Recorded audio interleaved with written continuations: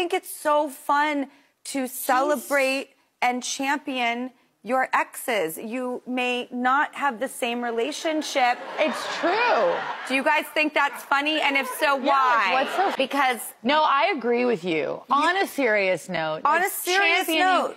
Yeah, I mean, look, we carry uh, so much pain, and with like pain of relationships ending and your ego, and however it, you know, there's maybe usually someone who's feeling a little more pain than another. Yep. And if you can't get past that and you can't move past that, you're just holding it. And like I think love changes form. You you don't just stop loving someone. Agreed. You know, even even even in the worst possible scenario.